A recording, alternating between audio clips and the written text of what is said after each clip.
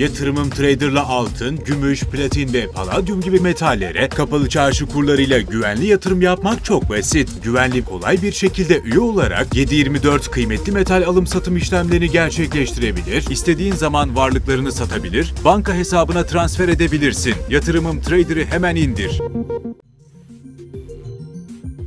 Yatırımım Trader sunar. Serbest 8'den herkese selamlar. Formasyon serisinin bu bölümünde Fenerbahçe'yi konuşalım istiyorum. Bir genel değerlendirme yapalım bu milli arada. Ya bu döneme kadar Fenerbahçe hangi konularda kendisini geliştirdi? Hangi konularda biraz daha gelişmeye ihtiyaç duyuyor? Hangi oyuncuları kazanma durumunda? Ee, önümüzdeki fikstüre bakacağız. Fenerbahçe'nin fikstürüne. Ee, bununla birlikte Jose Mourinho'nun tercih edebileceği oyuncu e, seçimleri ve formasyon seçimlerini konuşalım birlikte. Filip Kostic de yani takıma daha hızlı bir şekilde döneceğini düşünüyorum bu arada. Kostic hangi rolde yer alır ya da Kostic'in sahne aldığı maçlarda nasıl bir diziliş görürüz? Bunları birlikte konuşalım istiyorum. Sizin de değerli yorumlarınız eşliğinde Servis 8'e abone değilsek abone olmayı, videoda beğendiysek beğenme butonuna basmayı unutmayalım. E, Fenerbahçe bayda geçtiği için uzun zamandır Servis 8'e bir Fenerbahçe içeri yapamıyorduk. O yüzden birlikte bir genel değerlendirme yapmak istedim açıkçası. Şimdi gerçekten Fenerbahçe'nin önünde yoğun bir fikstür var. Bütün takımlarımız var ama e, Fenerbahçe'nin şu yönden önemli önündeki kalabalık fikstürü. Öncelikle o fikstürü sayayım size. Samsun Spor deplasmanı yani ligin zor takımlardan bir tanesi ve zaten ligdeki sıralamasında da ne kadar önemli bir takım olduğunu gösteriyor Samsun. Samsun deplasmanına gidiyor sonra evinde Manchester United ağırlıyor. Ee, ki bu maçın öncesinde konuşuyoruz. Burada güzel beklentilerimiz de var. Yani Fenerbahçe, yani Jose Mourinho United'e karşı e, bence çok net bir planla çıkacaktır ve oradaki hayallerini ben tahmin edebilirim Jose Mourinho'nun. Sonra Bodrum Spor içeride. Trabzonspor deplasman, AZ Alkmaar deplasman üst üste. Sonra evinde Sivas Spor bir kez daha milli araya giriyoruz. Yani Kasım ayındaki milli araya kadar Fenerbahçe 3 günde bir oynayacağı yoğun bir maç takvimi var. Aslında bu, bu takvimi Jose Mourinho olumlu bir şekilde bekliyordu biliyorsunuz mevcut oyuncu kadrosu içerisinde hem oyuncuları daha fazla hazır etmek hem de takımına kendi oyununu alıştırmak adına maça ihtiyaç duyduğunu söylüyordu Jose Mourinho. Aslında bu e, 6 maçlık yoğun fikstür, 3 günde bir oynanacak yoğun fikstür Fenerbahçe'nin e, birçok resmini belirginleştireceğini düşünüyorum. Hatta bugüne kadar bahsettiğimiz hep şu tahminim var ya benim Jose Mourinho ne oynuyor sorusuna karşılık şunu söylüyorum son haftalarda. Jose Mourinho'nun planı belli. İlk 11'inde inanılmaz değişiklikler yapmadan belki maçına göre 2-3 oyuncunun yerini değiştirerek e, genellikle benzer takımlarla sahaya çıkıp bu yoğun maç takviminde benzer oyunla, benzer maç fikriyle, benzer oyuncu tercihleriyle dingin dingin, sakin sakin maç kazanmayı tercih ediyor. Biraz daha kontrol altına alarak, daha az pozisyon vererek, e, yakaladığı pozisyonları atarak biraz daha dengeli galibiyetler peşinde olacaktır Jose Mourinho. Tabi bugüne kadar Topu rakibe verdiği anda pozisyon fırsatları verdi Fenerbahçe. Zaten Jose Mourinho da bunun altını çiziyor. Hala zamanı olduğunu takımın aslında Jose Mourinho da kabul ediyor. Hala zamanı olduğu kısım aslında Fenerbahçe'nin rakibi karşıladığı bölümler. Bence aksine ofansif tarafta Fenerbahçe oldukça hemen hemen her maçta pozisyon girmeye yani girme konusunda sıkıntı yaşamadı. Ee, her maçta gol pozisyonları var Fenerbahçe'nin. Son Twente maçında da var. Ama beklerken, kontrol altına alırken oyunu oralarda gol şut fırsatı verebiliyor. Burada önemli bir inşaya girecektir Fenerbahçe. Peki hangi 11'lerle, hangi formasyonlarla bunu görürüz? Ee, yani biraz da şunu soralım. Tabii ki maçına göre farklı 11'ler göreceğiz. Rakibe göre, o, o anki şartlara göre ama her teknik adamın aklında bir ideal 11'i vardır. Fenerbahçe'de de bir ideal 11 var bence. Yani önüne net bir maç çıktığı zaman işte United içeride oynarken ya da Trabzonspor deplasmana giderken burada biraz daha ideal 11 aslında. Hocanın aklındaki oyununu oynatabilecek oyuncuları maksimum sahada göreceğimiz maçlar olacak. Ee, sanki o ideal 11'de şu şekilde. Ceko 9 numarada eğer bir yorgunluk durumu yoksa ki milli dönüşten sonra belki yine Enesiri e, sahaya çıkar ki Enesiri de milli takıma gitti ama e, Ceko'yu biraz daha bin liradan sonra değerlendir dinlendirme gereği duyuyor Jose Mourinho. E, Tadic sağ önde sol sol forvete Sam Maximen yani Sam Maximen Tadic önlerinde e, Ceko şu anda Jose Mourinho'nun aklındaki 11'de direkt yer alıyorlar diye düşünüyorum. Orta saha zaten çok belirgin oldu şu anda. Sebastian Szymanski yanında Fred arkalarında Sofyan Amrabat. Amrabat gerçekten yeni transferler arasında hemen mesaiye başlayan yegane isimlerden bir tanesi oldu. E, Sen Maximen de aslında zaten onun kendi başına bir oyun stili olduğu için o da çok fazla yabancılık çekmedi. O oyun stilini sahaya sürme konusunda. En-Nesyri'de bir bekleme var şu anda. E, Kostic yavaş yavaş fiziksel olarak hazır oluyor. E, ama Amrabat gerçekten hazır da geldiği için her anlamda hem e, maçta oynamıştı, sezon da geçirdi zaten, antrenman sezonu da geçirdi. O yüzden direkt mesai başladı Amrabat ve işin rengini de belirgin bir şekilde değiştirdi. E, Jose Mourinho'nun tahmin ettiğimiz ve henüz inşa halinde olan oyununa en uyacak isimlerden bir tanesi o. Çünkü diyorum ya işte dengede kalarak Fenerbahçe'nin kazanma gol pozisyonuna girme fikri var diye. İşte kendi yarı sahasına yakın ya da orta saha civarında top çevirirken tek pasla pozisyona girme düşüncesi oluyor Fenerbahçe'nin. Bunu Amrabat son maçlarda yapıyor. Hatta bir tanesi direkt asiste döndü. Antalya maçında da benzer bir pası atmıştı. Yani bu tip e, kendi ara, kendi oyuncular arasında pas çeviriyormuş gibi gözükürken aniden uzun pas gönderen 6 numaralar çok fazla denge bozuyor. Amrabat da bu konuda gerçekten fark yaratacak gibi. Ee, Sebastian Szymanski konusunda aslında Jose Mourinho'nun kendi açıklaması var. Neden hep onu tercih ettiği konusunda. Ee, bu zamanlı presleri tercih ediyor Fenerbahçe. Bazen rakibe basmayı tercih ediyor. Bazen dengede kalmayı tercih ediyor. Bu iki oyunu oynayacak orta sahaları tercih ediyor. Yani topa bastığı anda topu çevirecek. Baskı yaptığı anda da enerji koyabilecek isimler.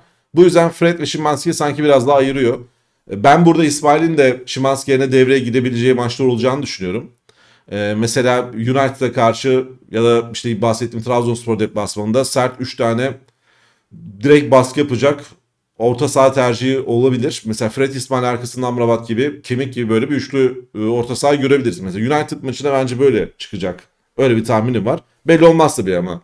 E, Szymanski'nin o bazen savunma yapacağı koşular ya da şut tehdidini de tercih edebilir o dengede kazanma fikrinde. Bunu bu sene o çok göstermedi. Milli maçta güzel bir golü var.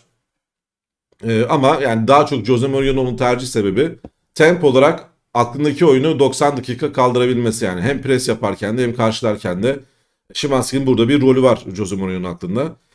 Geri dörtlü zaten Osterwolde sol bekte e, Osay ya da Mert ki burada Osay sakatlandıktan döndükten sonra Mert'in önüne geçecektir. Mert'te bir form düşüş, düşüklüğü var ve e, Osay savunması atletizmi daha belirgin, daha net bir oyuncu. O yüzden bence sağlıklı olduktan sonra Osay e, daha önde tutul, tutulur diye düşünüyorum. E, Çağlar da sağlıklı olduktan sonra stoperlerden bir tanesi Çağlar yanında da Ciku olur gibi gözüküyor. Son maçlarda Bekao biraz eksik kaldı. Hatta Twente maçında yenilen golün öncesinde vesaire offside çizgisini bozan isim oydu. E, Normalde Çağlar'ı eleştirdiğimiz konu kendisini geri atma konusunda Bekao daha çok yapmaya başladı. Muhtemelen sakatlandıktan sonra tam fiziksel olarak kendine hala güvenmiyor. O yüzden idealde e, Ciku ve Çağlar ikilisini göreceğiz yine gibi gözüküyor.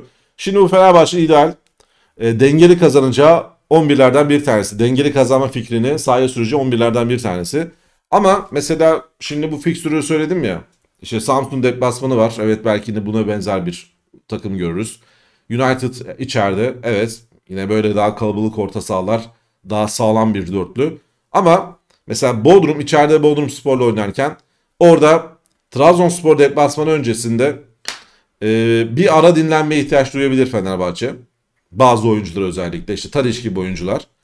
E, burada içeride iç sahada Bodrum Spor gibi rakipleri ye- geçmek için Fenerbahçe'nin direkt Jose Mourinho'nun tabiriyle kestirme yoldan kendisini skora götürecek, gole götürecek isimlere ihtiyaç duyabilir. İşte o zaman da Filip Kostic devreye giriyor. Zaten Avrupa Ligi'ne yetişmediği için listede yok. Avrupa'da oynatamıyorsunuz bu oyuncuyu. Ama bazı özellikle iç sahadaki Kadıköy'deki maçlarda Kostic'in ben e, sık sık 11'de çıkacağını düşünüyorum ve şu fikstürde gözüme kestirdiğim maçta içerideki Bodrum maçı. Burada Kostic'i ben 11'de görüyorum şimdiden ilk 11'de. Şöyle bir yapı olabilir.